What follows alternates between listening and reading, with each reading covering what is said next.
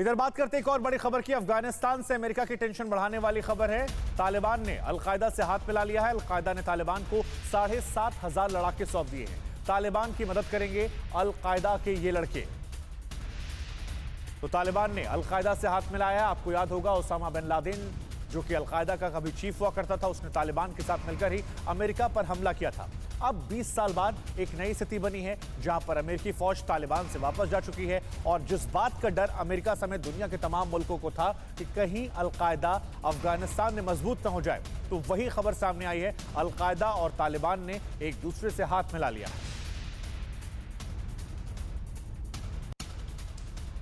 इधर पंजशीर वैली में तालिबान ने कत्लेआम तालिबान ने एनआरएफ के लड़ाकों को बेरहमी से मारा। तालिबान के कब्जे में एनआरएफ के डेढ़ सौ से ज़्यादा लड़ाके। तालिबान ने पंजशीर की यूनिवर्सिटी में भी आग लगा दी है।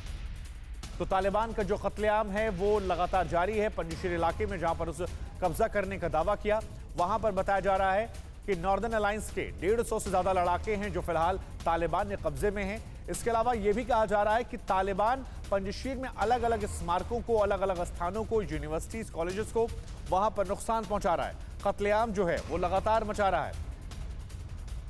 फ़िक्र आपकी। सोमवार से शुक्रवार, रात नौ बजे, सिर्फ़ टीवी नाइन भारत वर्ष पर।